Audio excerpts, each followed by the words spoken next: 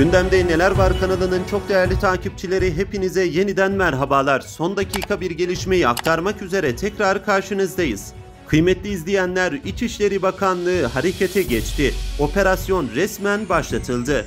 Değerli izleyenler İçişleri Bakanlığı Muş'ta 565 personelin katılımıyla Eren Abluka 13 Şehit Jandarma Üsteğmen İsmail Moray operasyonunu başlattı. Muş'ta 565 personelin katılımıyla Eren Abluka 13 Şehit Jandarma Üsteğmen İsmail Moray operasyonu başlatıldı.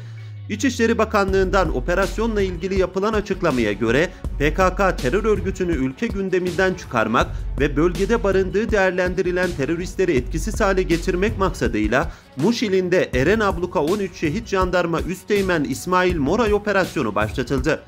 Operasyonda Muş İl Jandarma Komutanlığınca Jandarma Özel Harekat, Polis Özel Harekat, Jandarma Komando ve Güvenlik Korucu timlerinden oluşan 565 personel, 39 operasyonel tim görev alıyor.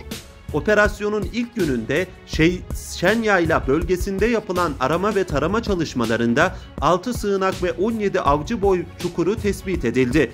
Sığınak ve avcı boy çukurlarında yapılan aramalar sonucunda 150 kilogram patlayıcı madde, 1 adet makinalı tüfek sabitleme aparatı, 1 adet makinalı tüfek mayonu, 1000 adet kök Hint keneviri, 728 adet pil, 27 çift ayakkabı, 6 parça leşker kıyafeti, 15 kilogram muhtelif gıda, giyim ve inşaat malzemesi ele geçirilerek emniyetli bir şekilde imha edildi. Yurt içinde terörün tamamen ortadan kaldırılmasına yönelik yürütülen Eren Abluka operasyonları halkımızın desteğiyle inançlı ve kararlı bir şekilde başarıyla devam ediyor ifadeleri kullanıldı.